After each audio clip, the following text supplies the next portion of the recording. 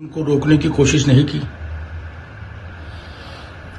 देखिए, कांग्रेस के अलावा, कांग्रेस पार्टी के अलावा ये सबको पता था कि नीतीश जी जाएँगे।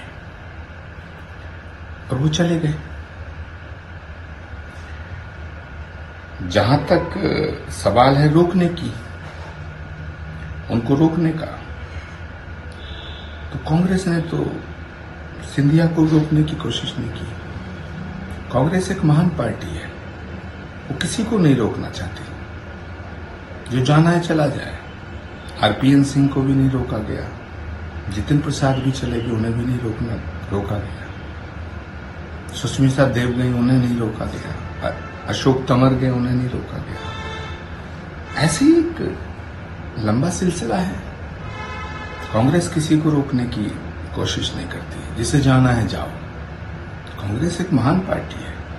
जब हम अपनों को रोकने की कोशिश नहीं करते तो नीतीश जी को रोकने की कोशिश कैसे कर सकते थे? चौबीस का इलेक्शन है। किस तरीके देखेंगे उसको अलायंस को? देखिए अलायंस जो ये इंडिया गठबंधन जब से बना तब से ही गंभीर बीमारियों से ग्रस्त हो गया। तरह तरह के नाना प्रकार के वायरस इसमें आ गए। फिर आईसीयू में चला गया और अंत में वेंटिलेटर पे गया। और फिर कल नीतीश जी ने इसका अंतिम संस्कार कर दिया। तो अब इंडिया गठबंधन का क्या होगा? अब तो अंतिम संस्कार हो गया कल पटना में, नीतीश जी ने कर दिया। सर, राहुल गांधी की यात्रा को लेकर क्या कहेंगे? कांग्रेस पार्टी में हमारे ऐसे सब महान समझदार नेता हैं कि एक तरफ़ देश का 2024 का महाभारत सज रहा है और दूसरी तरफ़ पूरी पार्टी पॉलिटिकल टूरिज़्म कर रही है, देशाटन कर रही है। एक्चुअली हम 24 के बाद सोचेंगे कि हम 24 का चुनाव कैसे लड़ेंगे। मुझे ऐसा लगता है कि हम 29 की बात 29 की तैयारी कर रहे हैं।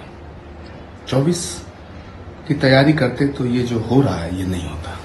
सब ममता बनर्जी की बात करें वेस्ट बंगाल में राहुल जी की यात्रा है। सीटों के बंटवारे को लेकर अभी तक कोई भी फैसला नहीं हुआ है। किसकी सीट का बंटवारा? कौन सी सीट है? कौन दे रहा कांग्रेस को सीटें इन हालातों में कोई सीट देना देगा? सीट उसे दी जाती है जिसके पल्ले में कुछ हो।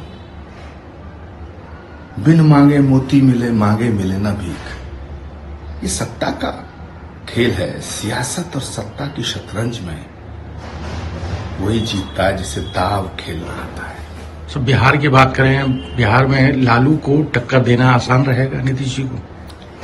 देखिए नीतीश जी में सौ बुराइयाँ हैं लेकिन एक गुण है कि वो ईमानदार आदमी है और उनके ऊपर भ्रष्टाचार का